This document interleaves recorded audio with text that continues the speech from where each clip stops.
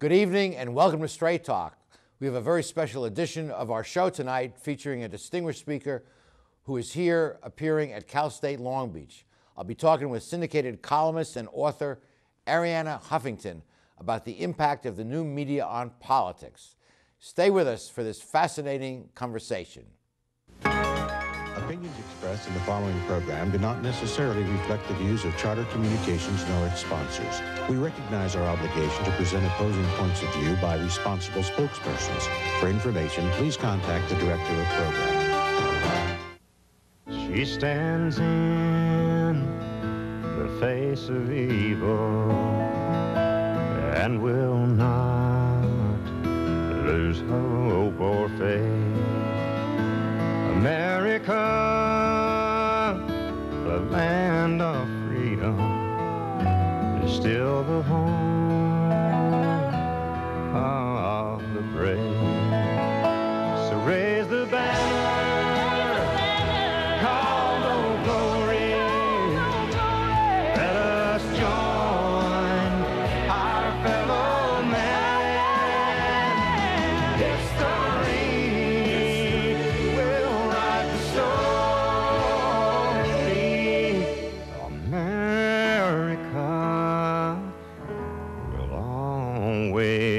stand.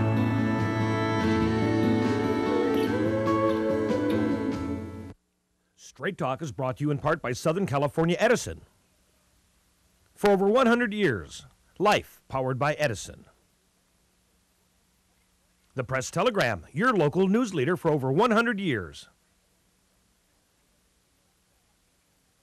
And Long Beach Magazine. Coastal Living City Style.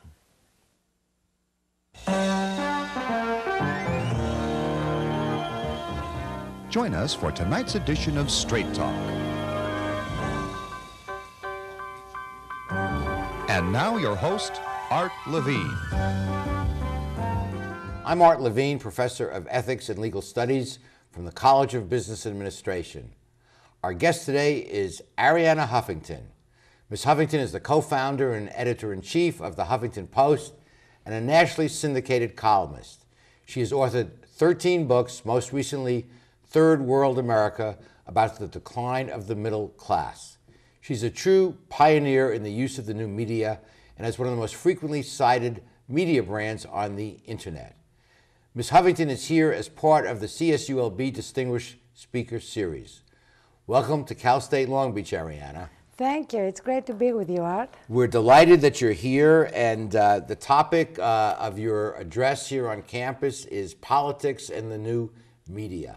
I know from my own experience that uh, the new media has changed everything, and uh, you know we're a little show here, but our signal is viewable all over the country. We're not CBS, but the word can get out. So, so there's a sense of democratization of the media with the, with with the internet. Oh, absolutely. It's um, really has changed everything. You know, you used to be able to um, express your opinions and have a platform only if you're a big name or if you owned the printing presses. And now you can have a voice and you can break through the static, the static if you have something to say that resonates with people. So the little guy or gal can, who has something to say, can get his or her voice heard without being Rupert Murdoch. Exactly. And you know, the, the use of social media, uh, Facebook, Twitter, uh, sharing what you have to say with others has also revolutionized everything. You know, Will.i.am recently said that people used to consume news sitting on the couch. And now they consume news galloping on a horse. Wow. You know, they don't just consume it, they want to pass it on, to share it, to um, add something to it. And, and that's what has been so difficult for many in the mainstream media to understand. They're asking, you know, why are people um, updating Wikipedia entries for free? Why are they um, adding things on their Facebook walls for free? Why are they blogging for the Huffington Post for free? And the truth is that self expression for many people has become the new entertainment. You know, nobody asked why are people sitting on the couches watching bad TV for free. But um, that's changed. People are much more engaged in what they're doing. And this is a healthy thing for a democracy. I think it's incredibly healthy. Like with every um, new stage in our evolution, there are problems. I think the biggest problem is um, the people who hide behind anonymity Yeah.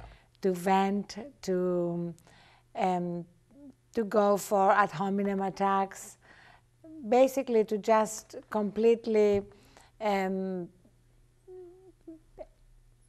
screw up the conversation. And that's why at the Huffington Post we are very particular that we don't allow that. You know, we have not just the most advanced technology we can get to filter through comments, but we also have 30 human comment moderators Wow. whose job is to make sure that technology is working or that they catch the things that technology didn't catch. And, you know, there are mistakes, but last month we had three and a half million comments. My God.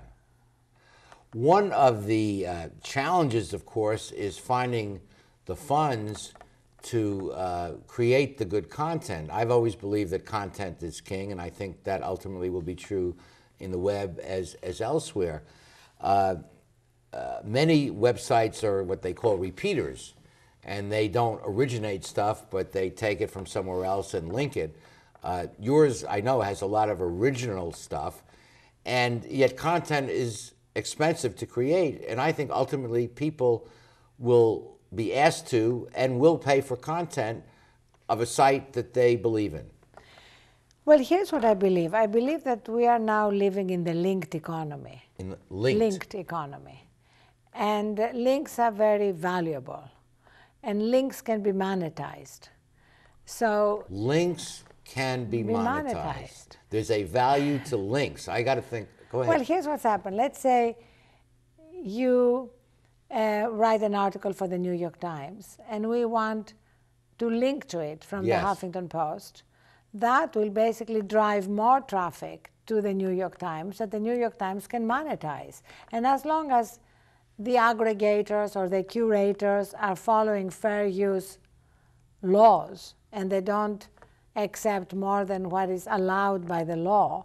but a link, a link means you, you, the whole article. Yes, but sometimes you can take a, a paragraph uh, to uh, basically introduce your readers to what the article is about, or you can link out directly. You know, either uh, can be within Is that valuable to the New. York Times to have a one paragraph reference about the article? Well, provided with a it, of course it is. Yes, we get hundreds of requests every day from mainstream media to link to their stories because it's incredibly valuable. Um, now, in our case, you know, we do three things. We do this kind of aggregation slash curation.